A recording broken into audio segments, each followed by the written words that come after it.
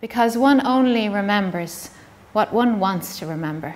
This week we're in a studio in Fringe and we're developing our piece based on the book Bird's Nest Soup by Hanna Greally, which is about this fact that so many people were put into institutions for such slight reasons and abandoned there by their family and lost their identities within there. Hanna could have gone home, but no one claimed her. I, I think that is shocking for a young, a young generation.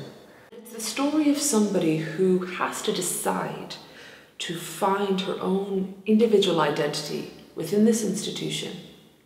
And as she goes along, maintaining that, maintaining that sense of herself, she struggles over almost two decades to regain her freedom. And she does that by the end. But the story is so much more than just whether she's gotten out or, or whether she's stayed in. It's about that sense that she maintains her identity through it all.